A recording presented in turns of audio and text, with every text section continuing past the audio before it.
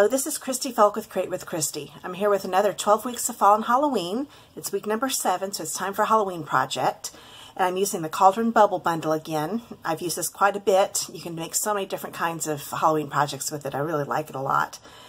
This week, this little project is going to hold a little Hershey Nugget candy bar. So if you just want to give somebody a little treat, you could whip some of these out really quick just to make the candy bar a little more special. Okay, let's uh, show you the uh, bundle. Here's the stamp set. It's Cauldron Bubble.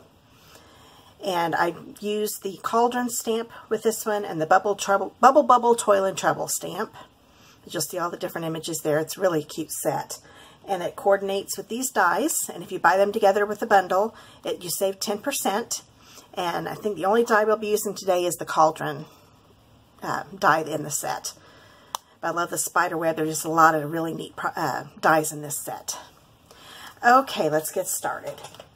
First off, you need a three and three quarter by two and a quarter piece of Whisper White cardstock.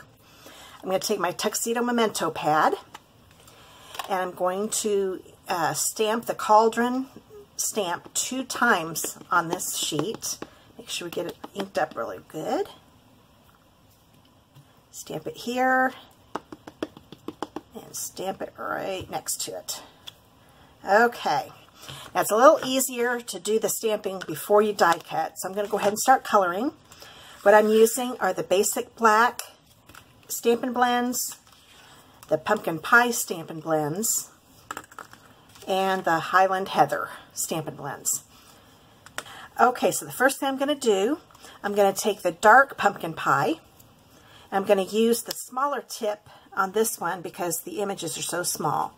And I'm going to color in the inside pieces of the flames. You know how when you look at flames, the, the hotter section is darker than the rest? So we're just going to color that in there. Make sure you get the lid on because you don't want the alcohol to, ink to dry quickly.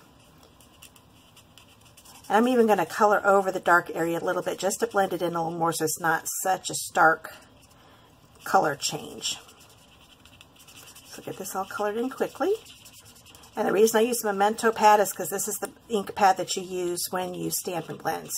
You can't use Stays On or those others, other black ink pads. This one is the one that works with the alcohol markers.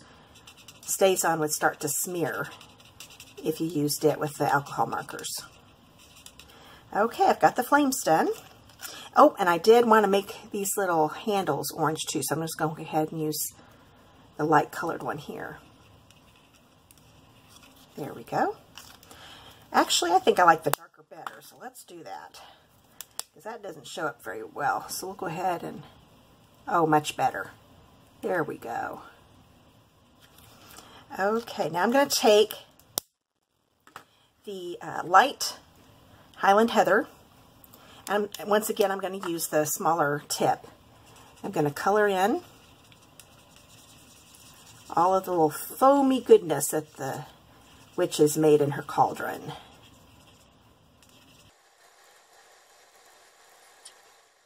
Okay, that looks pretty good.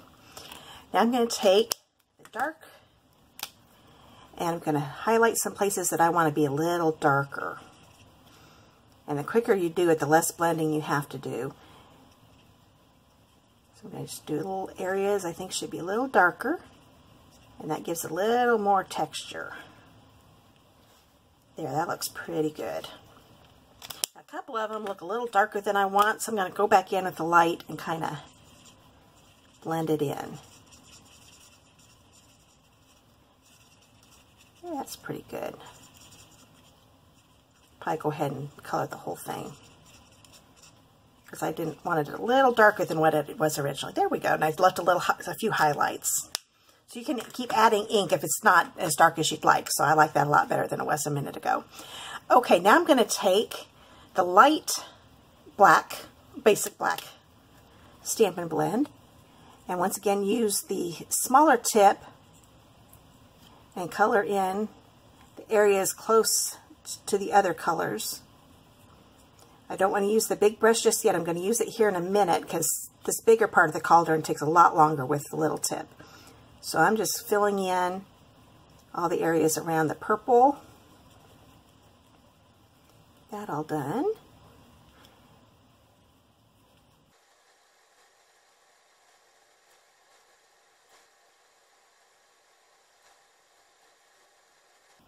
Okay, now I've got the outline done. I'll do these little legs here at the bottom. Okay, now I'm going to switch to the big brush, the brush tip, because this will cover up the rest of the pot a lot faster.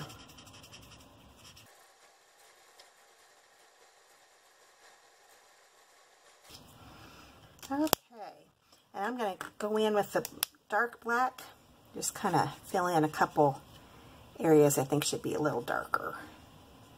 Maybe a little bit underneath the foam because that would probably cast a shadow. Do that a little bit. This kind of gives it more of a 3D effect. Putting it around here kind of makes it look like the foam is actually coming over the cauldron. This looks like it needs a little bit more. That's pretty good. I don't need to put too much. So that's how you, you color that one, and you're going to color this other one the same way. So I'll just up and get it colored and speed up the film again.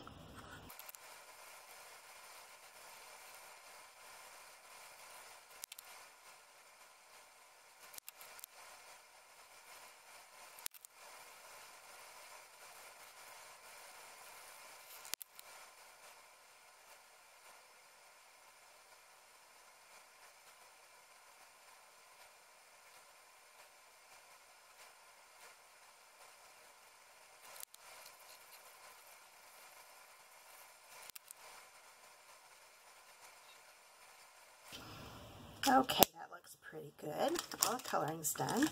Take that back. I forgot. When I made this, I thought it looked a little flat. So I decided to take my clear Wink of Stella and shake it up before you use it and color over the little concoction that the witch is making. So I decided I want that to be a little sparkly. Maybe a little hard to tell in the video, but it is sparkling up. It looks really neat. Kind of gives it more finished look. And it also darkens it up a little bit. And I went ahead and did that with a fire too. If you want to do the whole thing, you could even make the cauldron glittery too if you wanted to. But I decided just to do the purple part and then the flames at the bottom.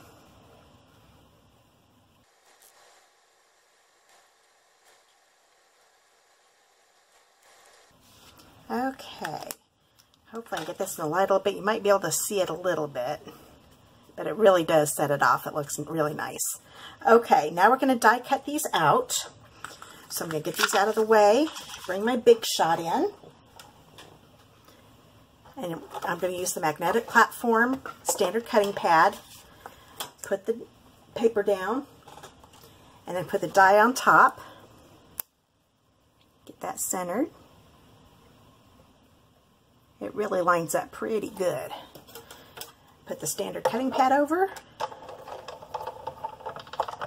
and cut it out.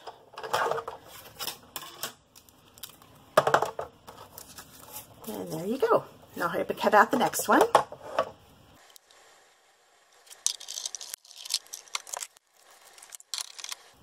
Okay, I got those die cut. Now I'm going to bring in my grid paper again. Oh, and I talked about this last time I made a video. This is some new grid paper. It's made to fit perfectly in the Stamparatus and it's now available for you to purchase. it's a nice little thing when you're using the photopolymer and you have to cover up the grid that's on the magnet inside the stamp, uh, Stamparatus. This way you can put this on top of the black mat and still have a grid to be able to line your things up a little straighter. So it's a nice little addition. But I like using it for my videos too because it's just the right size. So I've got the cauldrons done. Now I'm going to bring in a piece of basic black cardstock this is a three and three quarter, I'm sorry, one and a quarter by three and a half. And I'm going to bring my Stampin' Trimmer in. I'm not going to be cutting. I'm going to, when you get your Stampin' Trimmer, it comes with the cutting blade and a scoring blade. So I'm going to put this one down here because we're going to use the scoring blade. And what I'm going to do with the three and a half inch side along the top and bottom, I'm going to score both sides at one and a quarter. Now, since I'm right-handed, I like to use this one here, and the very last line here is one and a quarter. So I'll just kind of line that up with the one and a quarter, score it, turn it around, and do it again. Now, when I make boxes, I usually use my uh, Simply Scored scoring tool, but when you just need to make two little ones like that, it's a little easier just to use the trimmer. So there we've got the score lines. So I'm going to go ahead and burnish these. Grab my bone folder just so it's ready to go. And that's it there. Now I'm going to take some snail adhesive and I'm going to cover up, not really not cover up, more just put along the side and top and bottom of the square on the end. Then I'm going to turn this over and I have found it's easier to line it up this way. You kind of want these little poke, pokey things, I guess you could say, the things that are sticking out right here to show. So it's kind of going to line up with the top of those, kind of like right there. So let me see if I can do this at an angle. Hold this in place, bring it up. So it's kind of next to those. There we go. That looks pretty good. So that lines up pretty good. Might want to, I did angle it a little bit. See if I can fix that a little bit. Because if you notice, didn't quite get this side up high enough. So we'll do a little adjusting. Sometimes if you're really careful, you can get the snail to come back up. Much better. There we go. So I lifted that up a little bit. Now we'll hurry up and do it on this side. You can take the adhesive, put it along the side, top and bottom. And I can, I'll show you the other way you can do it. You can do it from the front here, and you want um, the bottom of the score line to line up with the little legs of this. That got it up a little high. See, this is why I like to do it the other way. Let's do it the other way. It's a lot easier to line up. So I'll make it so it's right. That both of these little extensions here are on both sides of it, and the corners are at the top. There we go. See, that went on a lot better doing it that way. Now we've made the little base. And we're going to put a little Bubble Boil Toil and Trouble. I took a 2 inch by 1 inch piece of Whisper White. Bring my memento pad back in. Stamp this around the middle. It doesn't have to be exact because you're going to cut around it. I wanted it to be a little bigger. If I made it as small as what I used here, it'd be just about impossible to get that lined up. So I think it's a lot easier to do it this way. Then I'm just going to take my scissors. It doesn't have to be perfect. Just do some snips. And it's about right. Okay, see how easy that was? And I really intentionally didn't do it exactly straight, and it actually looks better that way. And I wanted a little bit of color around it, so I'm going to take my dark pumpkin pie, take the brush tip, just kind of go along the edge of the cardstock just a little bit. And that makes it so it almost looks like there's a mat around it. It gives a little more color. Now I'm going to take my mini dimensionals and I'm going to put one on each end. And I'm going to stick it, take the first, take the paper backing off. I'm going to stick it on one of my, the one I've decided I want to be my front. We're going to do with this one. I'm going to put a little bit of an angle. I tend to do things just a little off because if you don't, if you want it perfectly straight, then it's going to look crooked. So this way makes it look like, oh, that looks good. don't have to obsess over it. Okay, now I'm going to take a 3-inch piece of our black 3 8 inch glittered organdy ribbon. I just love this ribbon. The glitter is so cool. What I'm going to do is take a mini glue dot and kind of put it in close to the center of the ribbon. Doesn't have to be exact. And then I'm going to fold this in half and have that glue dot keep it together. Then I'm going to put another glue dot on one side of it and then stick it on the back right here. I decided to do this because that way they can grab a hold of their candy. It's a little hard to pick up without the ribbon, so it's nice to have that ribbon on there. So got that on there. I'm going to take glue dots again. I'm going to put one on both corners of the black. Oops, didn't get that one picked up. There we go. And I'm going to put one right on the ribbon too. There we go.